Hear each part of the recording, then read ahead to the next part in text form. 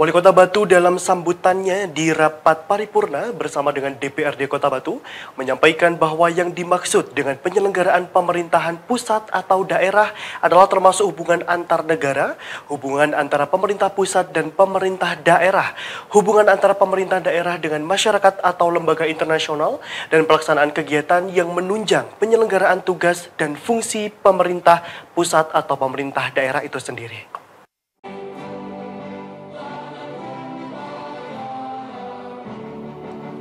Oleh karena itu, Wali Kota Batu menjelaskan bahwa dari penjelasan tersebut, maka dapat disimpulkan bahwa pemberian hibah tanah kepada Badan Narkotika Nasional Kota Batu dan Madrasah Aliyah Negeri Kementerian Agama Kota Batu telah memenuhi kriteria sebagai calon penerima hibah, yaitu hibah kepada pemerintah pusat untuk menunjang penyelenggaraan tugas dan fungsi pemerintah pusat di daerah. Dengan kata lain, seiring pertumbuhan pendidikan di Kota Batu dan besarnya minat masyarakat untuk menempuh pendidikan khususnya MAN Kota Batu yang tidak sebanding dengan penyediaan sarana dan prasarana yang tersedia.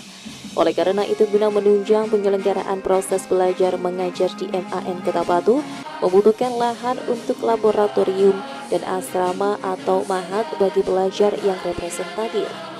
Demikian halnya dengan Badan Narkotika Nasional Kota Batu sebagai lembaga pemerintah vertikal yang berkedudukan di bawah dan bertanggung jawab kepada Badan Narkotika Nasional Provinsi dan Badan Narkotika Nasional memiliki peran untuk melaksanakan tugas dan fungsi serta wewenang BNN dalam wilayah Kota Batu yaitu melindungi dan menyelamatkan komponen masyarakat di Kota Batu dari pengaruh penyalahgunaan dan peredaran gelap narkoba. Oleh karena itu, guna mendukung peran dan fungsi dari BNN tersebut, maka perlu kiranya ditopang dengan tersedianya sarana dan prasarana yang memadai, khususnya bangunan gedung berkantoran. Demikian halnya dininjau dari aspek persyaratan barang yang akan dihibahkan, juga telah memenuhi kriteria yaitu tanah yang akan dihibahkan kepada Badan Narkotika Nasional Kota Batu maupun Madrasah Aliyah Negeri Kementerian Agama Kota Batu bukan merupakan barang rahasia negara dan bukan merupakan barang yang menguasai hajat hidup orang banyak serta tidak digunakan lagi dalam penyelenggaraan tugas dan fungsi penyelenggaraan pemerintah daerah.